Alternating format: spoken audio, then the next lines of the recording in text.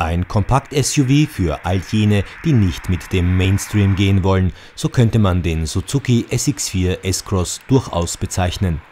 Es gibt trotz auffälliger Zwei-Farben-Lackierung, wie hier beim Testwagen, keine Design-Highlights und auch im Innenraum wird Normalkost serviert. Doch das kann auch als Vorteil gesehen werden, wenn der Fokus ganz einfach auf souveräne Alltagstauglichkeit gelegt wird so bietet der 4,30 Meter lange SX4 S-Cross großzügige Platzverhältnisse in beiden Reihen. Für zusätzliche Flexibilität können auch hinten die Rückenlehnen verstellt werden. Der Kofferraum hält in Grundstellung immerhin 430 Liter Ladevolumen bereit. Der Ladeboden kann zudem in der Höhe verstellt werden. Das maximale Ladevolumen beträgt 1269 Liter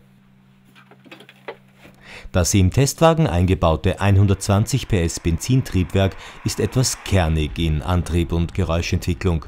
Leider fehlt der sechste Gang, um das Drehzahlniveau niedrig zu halten. Wer die Kraftreserven ausreizt, kann schnell mal über 9 Liter verbrauchen. Bei Zurückhaltung sind auch Werte um die 7 Liter auf 100 Kilometer möglich. Der Testwagen verfügt über das Suzuki All Grip Allradsystem mit selbstständig zuschaltender Lamellenkupplung.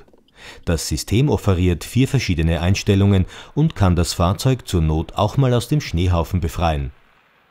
Wer sich nun für einen SX4 S-Cross mit All-Grip-System entscheidet, muss zumindest 23.990 Euro hinlegen für das Modell Shine mit 120 PS Benzinmotor.